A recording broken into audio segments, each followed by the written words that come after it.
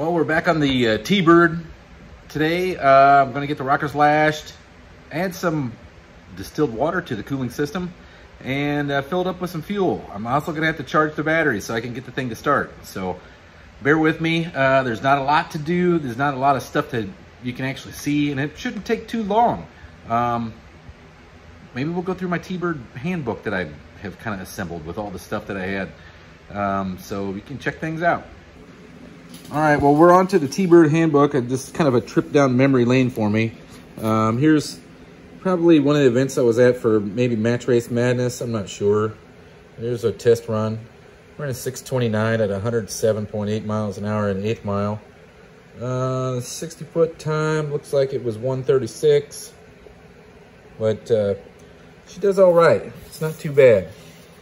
These, but here's a stack of these time slips. There's a bunch of them in there. There's probably ranges from 620s to 640s to maybe even 650s. I don't even remember. Um, here was the build list for all the stuff for the motor. There's like actually two different receipts in there.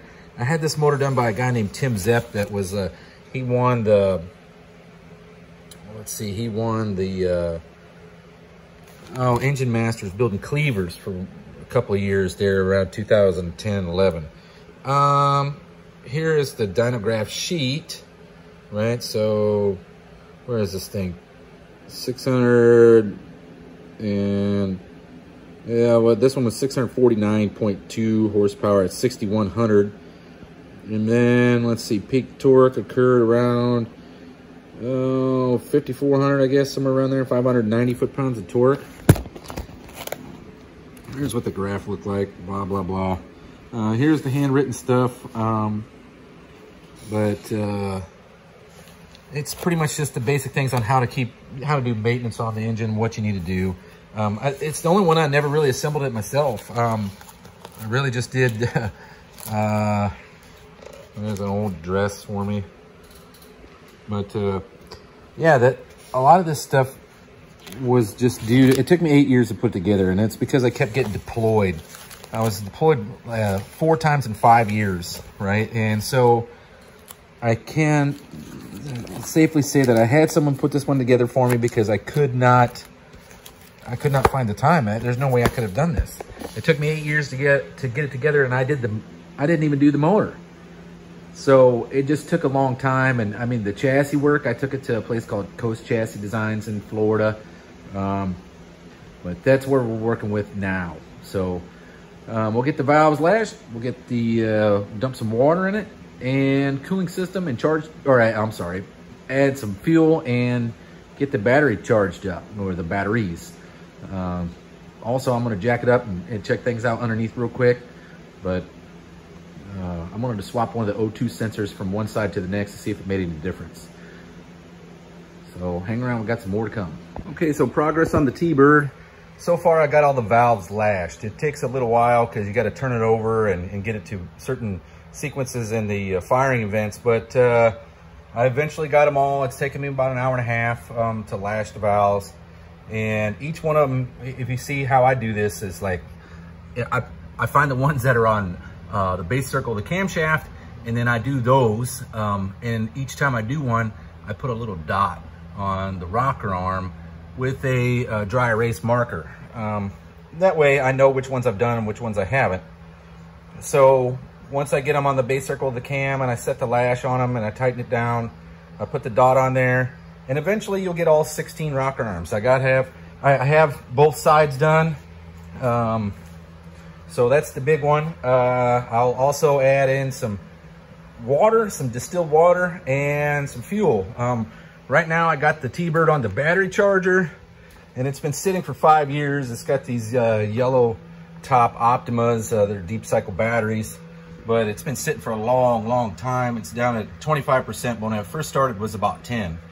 So it is gonna take, I bet, every bit of four hours to charge those batteries. They are in a parallel setup, just like a, uh, just like a diesel truck. So race cars, you know, um, they take a lot of current generally to turn them over. And this is an EFI uh, combination. So it's got two fuel pumps and so those two fuel pumps plus the EFI plus the ignition plus everything else, it requires an alternator and a hell of a lot of juice to run everything. But uh, That's why it has two batteries. And also, I did that because if you wanted to go bracket racing and go quite a few rounds, you don't have a lot of time to charge in between uh, rounds.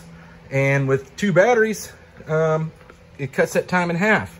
And generally it uses about half as much as what it would normally use um, just under regular load. So I could have got away with one battery most likely, but uh, this two makes it pretty much ready to go uh, whenever I hit the key, even if I only got a few minutes between rounds to charge, especially when you get in later rounds.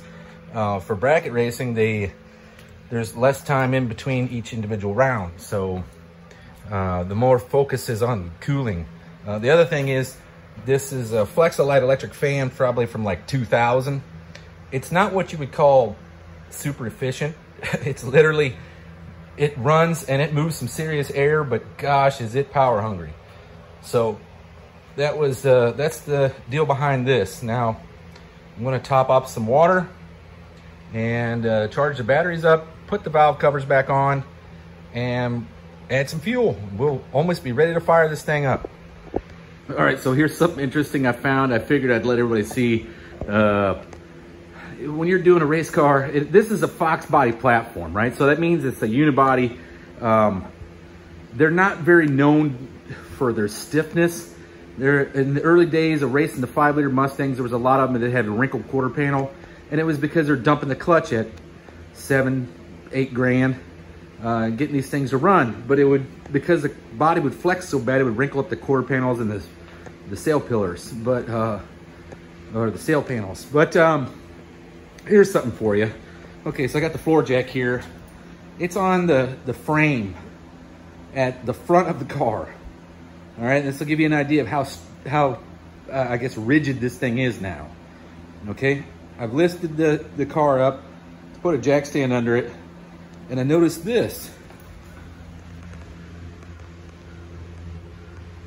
Uh, yeah, that's the whole back, uh, the rest of the back of the car off the ground. There's about two inches there underneath the rear tire.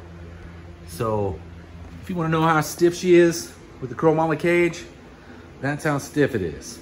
Okay, as they say in YouTube today, bruh, she's stiff. So here we go.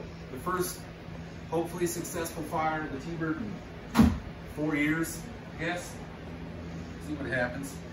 Already primed the fuel system, so it should light right off.